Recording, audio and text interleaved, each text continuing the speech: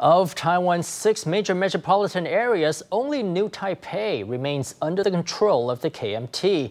And just shy of three years before the next round of mayoral elections, word is out that Tainan Mayor Lai Ching-te of the DPP is interested in running for mayor in the northern city.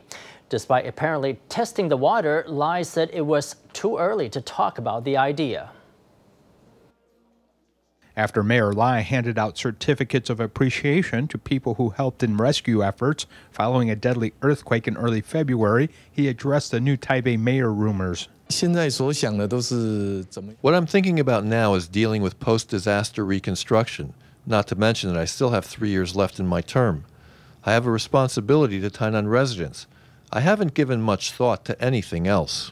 Maybe so, but during this year's Lunar New Year holiday, DPP city councilors in New Taipei were seen handing out hundreds of printed New Year's couplets with Lai's name on it, leading to the speculation.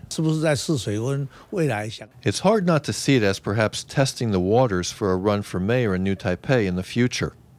Lai is not interested in joining the new DPP government, but he still needs a platform after his second term as Tainan mayor expires at the end of 2018.